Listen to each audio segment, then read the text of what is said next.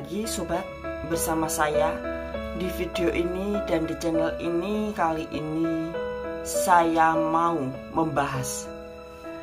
Jangan menghakimi jangan memfonis orang lain sesuka hatimu. Ingat menghakimi memfonis orang lain itu sungguh menyakitkan bagi orang lain. Apalagi dirimu bila mana dihakimi dan difonis oleh orang lain pasti kamu juga akan merasakan sakit.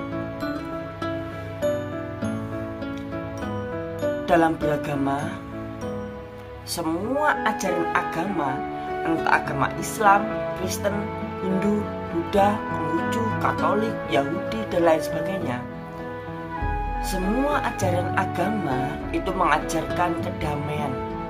Semua ajaran agama mengajarkan kebersamaan dan semua ajaran agama itu mengajarkan akhlak moral yang terpuji, akhlak moral yang baik. Tidak ada satupun agama yang menganjurkan untuk permusuhan. Tidak ada satupun agama yang menganjurkan untuk menghakimi sesuka hati, memfonis sesuka hati. Tidak ada satupun anjuran agama untuk membunuh, menyakiti pihak lain karena semua agama pastilah baik dan tujuannya baik. Di mana saya pernah melihat, bahkan sering melihat orang-orang itu sesuka hati memfonis orang lain, memfonis orang lain, menghakimi orang lain.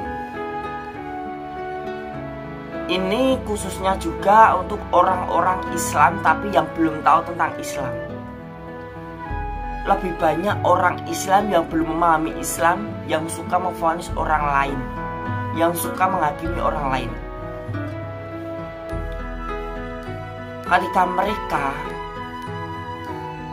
berkata-kata atau mengatai orang lain atau memfonis orang lain, menghakimi orang lain dengan kata-kata musyrik, murtad, syirik, lalu kafir. Dengan kata-kata yang sedemikian, musyrik, murtad, kafir, syirik dengan kata-kata demikian. Apakah mereka ingin menjalin hubungan baik antara agama ataukah mereka ingin mencerai berikan sesama makhluk antar agama? Padahal Islam tidak seperti itu. Tetapi orang-orang yang belum paham Islam Dia seenaknya sendiri memfonis orang lain Menghakimi orang lain. Seakan-akan mereka anggap diri itu sudah benar. Saya tahu Saya tahu di dalam Islam Kata musyrik adalah perbuatan yang menduakan Tuhan. Kata syirik adalah orang yang melakukan perbuatan musyrik. Kata murtad bagi agama Islam adalah orang yang keluar dari Islam. Kata kafir adalah orang-orang yang tidak mengenal agama, tak mengenal Islam. Perlu Anda ketahui, di dalam ajaran Yahudi, di dalam ajaran Kristen, kata musyrik, murtad, syirik, kafir semuanya ada. Kata um, musyrik itu adalah orang yang menduakan Tuhan, menduakan Sang Ilahi, Elohim, Allah Yahweh. Yang menduakannya menggunakan mamon atau menggunakan berhala-berhala. Lalu kata syirik itu adalah orang yang melakukan tindakan musyrik. Sedangkan kata murtad adalah orang yang awalnya mengenal Tuhan, lalu dia mengkhianati dan dia tidak mau mengenal Tuhan lagi. Itu namanya murtad. Sedangkan kata kafir adalah orang yang sama sekali tidak tidak pernah mengenal Tuhan. Ada perbedaan arti di dalam kata-kata itu, entah dalam ajaran Islam, tetapi kesamaan arti terdapat di dalam ajaran Yahudi dan Kristen. Perlu diketahui, Bila kita sesuka hati memfonis orang lain, itu menyakitkan bagi orang lain. kamu bila mana kamu difonis dihakimi orang lain pasti menyakitkan di hatimu. Seringkali aku melihat orang-orang Islam itu berkata-kata sedemikian. Lalu kalau nanti dibilang ke tokoh-tokoh agama, tokoh-tokoh agama Islam pasti akan mereka akan bilang ini adalah adalah salah satu tuntunan ajaran kami.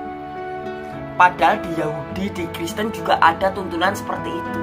Tapi kenapa orang-orang Yahudi, orang-orang Kristen tidak mau mengkafir-kafirkan orang lain, tidak mau memurtad-murtadkan orang lain?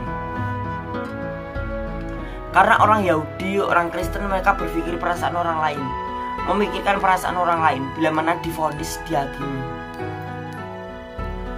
Ya, ini sekali lagi ya, kita sebagai umat beragama, marilah kita bergandengan tangan, jangan memfonis, jangan menghakimi apalagi kalau belum mengerti kenyataan. Banyak orang saat ini yang bersembunyi di balik agama untuk menutupi kejahatan, aib, latar belakang mereka. Banyak sekali orang-orang yang menyalahgunakan agama. Banyak orang-orang yang kelihatannya beragama, tapi dia sebenarnya melakukan banyak kejahatan di dalam agamanya. Agama adalah tempat untuk mengenal Tuhan.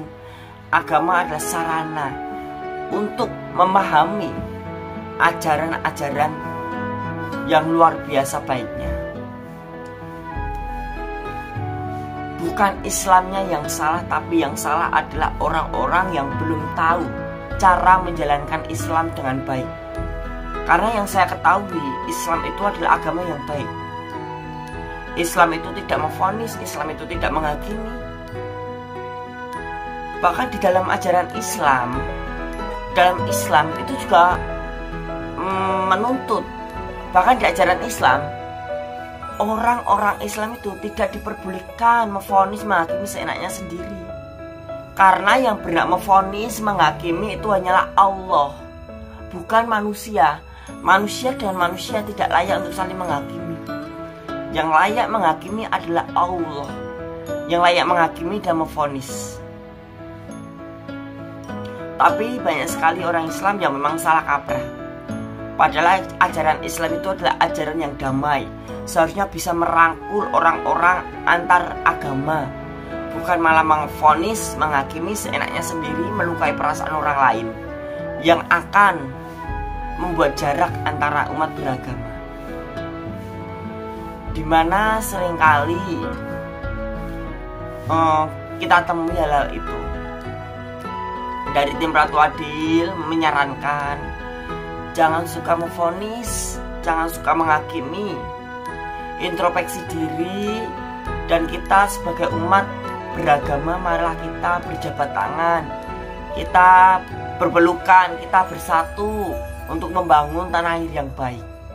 Jangan lupa klik like dan subscribe video ini, nyalakan lonceng notifikasinya dan komen di kolom komentar.